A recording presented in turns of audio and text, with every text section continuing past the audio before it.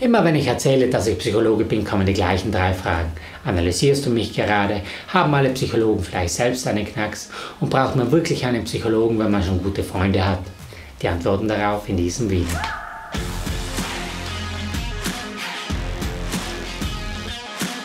Es ist die meistgestellte Frage, analysieren dich Psychologen immer und überall? Psychologen haben viel Wissen über Menschen, Verhaltensweisen, Persönlichkeitseigenschaften und wie sich die im Alltag zeigen. Schon beim Zusehen kann man manchmal vielleicht einen Hinweis auf eine psychische Störung sehen. Das stimmt schon. Ein psychologischer Test ist meistens ein Fragebogen, den der Betroffene selbst ausfüllt und der Psychologe dann auswertet.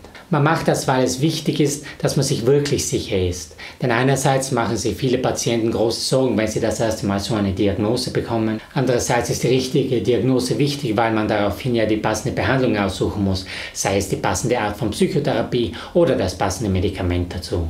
Also im Alltag kann der Psychologe nur beobachten, was derjenige sagt oder tut und das reicht nicht für eine wirklich sichere Diagnose. Und eine unsichere Diagnose ist eben gar keine Diagnose. Der zweite Punkt, und das kennt wohl jeder, Arbeit ist nicht gleich Freizeit. Ich vergleiche das gern mit einem Mechaniker, der schaut auch nicht jedem Auto hinterher, das auf der Straße vorbeifährt. Andererseits, wenn eins vorbeifährt mit kaputten Scheiben, alle Reifen platt, und der Auspuff am Boden streift, dann schaut er vielleicht aus Neugier doch ein bisschen genauer hin. Also, analysieren Psychologen dich immer und überall? Eher nicht. Aber was ist eigentlich mit dem Psychologen selbst? Haben vielleicht alle Psychologen selbst einen Knacks? Nein, es wäre auch schlimm, wenn genau die, die dir helfen sollen, mit ihrem eigenen Leben nicht zurechtkommen würden.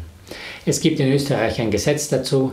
Wer die Ausbildung als klinischer Psychologe beginnen möchte, der muss ein Gutachten vorweisen, dass er selbst nicht an einer psychischen Störung leidet. Zusätzlich müssen klinische Psychologen in ihrer Ausbildung rund 100 Stunden Selbsterfahrung absolvieren. Das ist eine Art von Psychotherapie für Gesunde. Aber natürlich sind Psychologen auch nur Menschen da kann es schon sein, dass ein Psychologe psychisch erkrankt dann muss er wie alle anderen auch sich selbst psychologische Hilfe bei einem Kollegen suchen.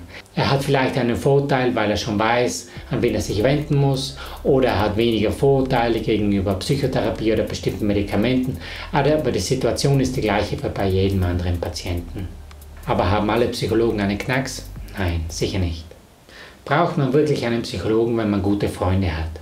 Freundschaften sind eine tolle Sache und fördern psychische Gesundheit, genauso wie es eine funktionierende Partnerschaft oder Ehe oder ein gutes Berufsumfeld schafft. Vor allem in Krisen kann so eine Unterstützung sehr helfen. Bei ernsten psychischen Problemen sind Freunde aber überfordert. Stelle vor, du musst Verantwortung für einen Selbstmordgefährdeten übernehmen. Wenn der sich umbringt, dann machst du dir dein ganzes Leben Vorwürfe.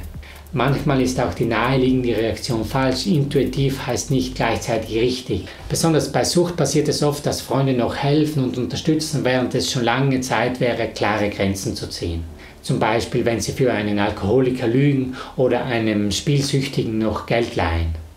Der letzte Punkt ist, Freunden fehlen meistens auch die Fachkenntnisse dazu, zum Beispiel zu Medikamenten. Das sind gut gemeinte Tipps oft schlechte Tipps und machen die Situation nur schlimmer. Oder wenn sie Symptome übersehen oder nicht ernst nehmen, dann wird die tatsächliche Hilfe unnötig hinausgezögert.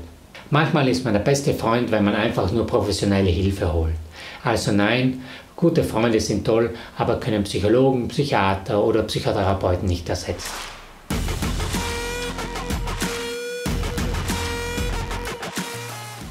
Was denkst du? Schreib mir einen Kommentar. Ich verspreche dir, dass ich ihn lesen werde.